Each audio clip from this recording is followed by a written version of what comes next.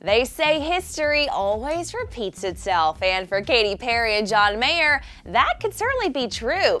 Apparently, a reunion between Miss KP and John Mayer went down over the weekend when they crossed each other's paths at a mutual friend's dinner party in Beverly Hills on Saturday night. And according to some sources, it seems as though John and Katy had a little sleepover. Yes, despite their best efforts, these two were seen leaving the party together where they then headed over to Katy's place. And then John wasn't seen leaving her place until the very next day at around 4 p.m. That's either one heck of a booty call or they were just maybe just catching up. I mean, it's been about a year since they broke up. Maybe they had a lot to talk about if you know what I'm saying. And according to People magazine, this hangout sesh, we'll call it, shouldn't be too surprising because, quote, they actually buried the hatchet a while back and they're friends. It's not a surprise they would see each other socially. She's focused on her career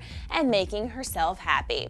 And focusing on her career definitely means getting geared up for a sure to be epic Super Bowl performance where she'll be taking the stage on Sunday, February 1st for football's biggest game of the year. Can't wait to see what she has up her sleeve, and I really hope that doesn't include a Taylor Swift diss like all the rumors are suggesting out there. Anyways, as far as Katy's love life goes, she was linked to Diplo for a majority of last year, but something about her meetup with John Mayer leads us to believe that they might have gone their separate ways. But what say you about this former couple potentially reuniting again? Do you ship them or do you think they should just both move on? Hit the comments to get the combo going, my friends, and then you can click right here to see a breakdown of all of the guys that Katy has dated over the years. And don't forget to subscribe. Duh. I'm your host, Erin Robinson. Thanks for watching.